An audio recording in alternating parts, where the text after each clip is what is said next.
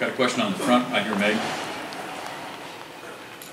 John Werner, Waco Trib. Corey, uh, when Bryce went out, kind of what was the team's thought process there and how happy are you to hang on to this? Um, we always thinking we gotta stay poised, just take one play at a time. You know that our leader was hurt, and was told Seth to get in there and calm down and just lead us through. We got a question on the left side front. Corey Tim Griffin with the San Antonio Express News. Do you guys kind of feel like you might have dodged one tonight? Yeah, we well coming in, we knew that Texas Tech pretty good football team, and they really have nothing to lose, so they're gonna give us all. So we have to go out there and just play the way we play and stay poised. Don't get frustrated with us with each other because we knew that um, bad stuff was gonna happen tonight, and it's not gonna be how we wanted to.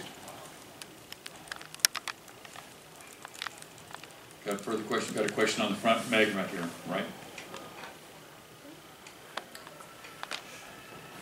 Brice Cherry, Waco Trib. Corey, uh, how was Bryce after, you know, he went to the locker room, came back to the sideline? I mean, did, you know, was he okay? Yeah, he was fine. I think he he'd be back next week. Um, definitely, he's just shaking up a little bit, um, and that's pretty much it with him. Question on the front left. Jerry Hill, Baylor Bear Insider. Corey, they had scored 20 unanswered points. Talk about that drive you guys put together to wind up with a field goal. But, you know, with the game, with them kind of having all the momentum, the drive that y'all put together. Um, we just you know huddled up and we told them, hey, we got to do something. We got to put points on the board. We got to stay calm, don't panic, and take one play at a time. And that's exactly what we did. And we got points on the board, which that's always good. Questions for Corey, got one here on the front right. Cody Soto, Baylor Lariat. Um, talk about this environment and what it was like and how you guys think it'll prepare y'all for next week and the bowl game. Um, you know, it's always great coming to the Cowboys Stadium.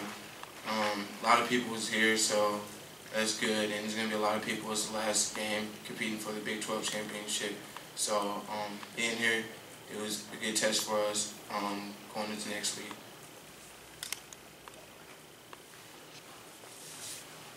Any other questions for Corey?